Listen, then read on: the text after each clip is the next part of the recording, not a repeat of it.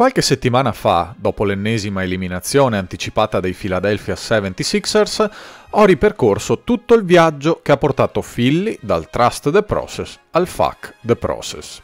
Tutto ebbe inizio nel 2013 con l'arrivo di Sam Inky e la scelta di Michael Carter Williams. Bene. In tutti questi anni ci siamo focalizzati sul process sbagliato perché il 2013 segna anche l'inizio del process per quanto riguarda gli attuali Boston Celtics ripercorriamo le tappe che hanno portato i Celtics ad essere quello che sono diventati.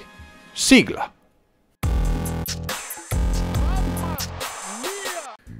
Come per i 76ers, anche il processo di rebuilding dei Boston Celtics ha inizio nel 2013, quando l'allora general manager Danny Ainge fiuta che l'epoca Doc Rivers, Allen Pierce e Garnett è finita e impacchetta tutto quanto per mandarlo ai Brooklyn Nets di un pazzo miliardario russo, Mikhail Prokhorov. Il russo, in barba alla luxury tax, si carica di vecchi decrepiti, ma soprattutto si disfa di tutte le prime scelte, ma proprio tutte.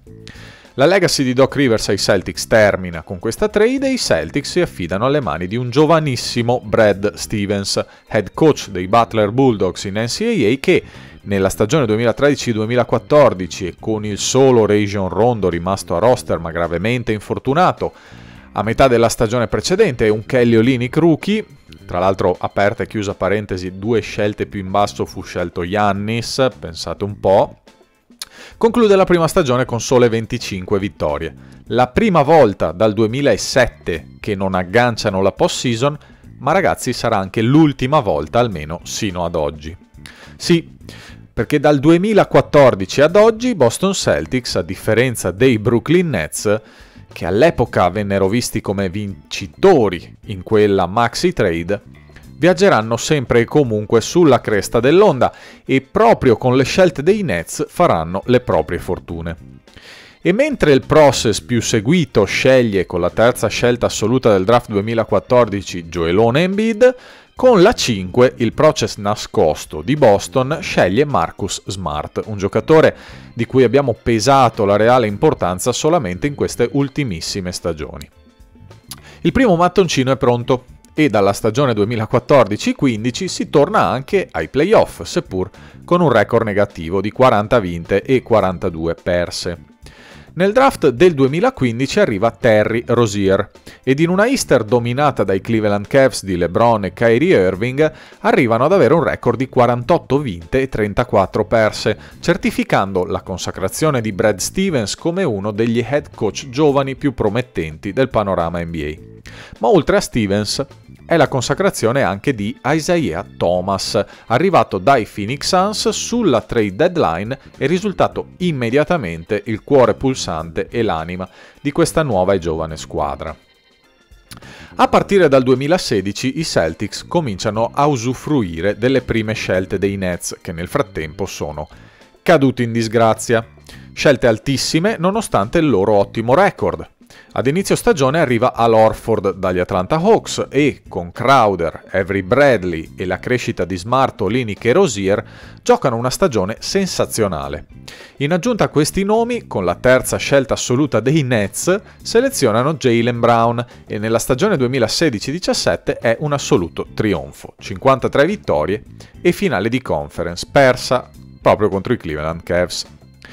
Danny Ainge capisce che la base è ottima, con tanti giovani pronti a spiccare il volo e tanti asset da utilizzare per arrivare a qualche superstar. E nell'estate del 2017 tenta di puntare al titolo, pur senza sacrificare l'ultima vera prima scelta rimasta dai vari scambi nel corso degli anni. Arriva Kyrie Irving da Cleveland in cambio sostanzialmente di Thomas e arriva Gordon Hayward che Stevens aveva già allenato a Butler dagli Utah Jazz. Ma soprattutto arriva il colpo di genio. I Celtics hanno la prima scelta assoluta del draft 2017 e proprio Philly, detentrice della scelta numero 3 nel nome del process, la vuole assolutamente per poter scegliere Markel Fultz alla prima assoluta ed evitare che lo facciano quindi i Lakers, che hanno invece la seconda. Le squadre si scambiano le scelte e Fila, che nel frattempo aveva già scelto Embiid e Simmons, ottiene la prima assoluta in cambio della terza e della futura prima scelta al draft 2018. Fulza Philly, Lonzo ai Lakers e con la 3 i Celtics pescano Jason Tatum. Un capolavoro. Dopo 5 minuti della prima partita, l'infortunio gravissimo di Hayward taglia le gambe ai Celtics, ma non tutto il male viene per nuocere, perché è da questa stagione che Danny Ainge e soprattutto Brad Stevens si rendono conto che il core formato da Smart, Brown e Tatum può dare grandissime soddisfazioni. Anche perché, nonostante l'infortunio di Kyrie Irving, i tre giovanissimi di Boston danno del serissimo filo da torcere ai Cleveland Cavs di uno strepitoso LeBron, avendo anche il match point in finale di conference per poter approdare alle NBA Finals. Match point sepolto sotto i 46 punti di LBJ in gara 6 e ai 35, sempre di quello con la corona in testa, in gara 7. La strada sembra spianata. Nel draft 2018 arriva Robert Time Lord Williams con la 27, nel draft 2019 Grant Williams con la 22, nel draft 2020 Peyton Pritchard ed Aaron Naismith. Nel mezzo il dramma Irving che lascia Boston nel nome dell'anello facile in quel di Brooklyn in compagnia di Kevin Durant. Nel frattempo, però, i giovani sono maturati.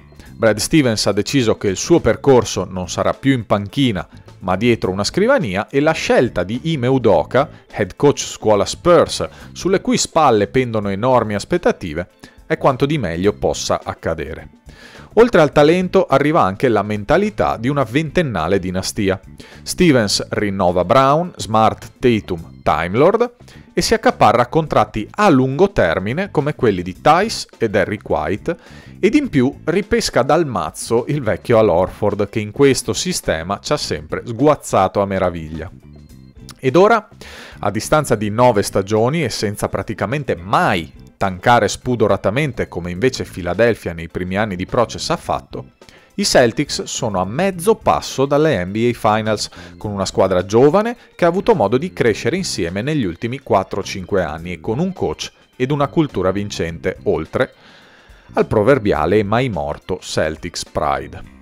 Eccovi il vero process, altro che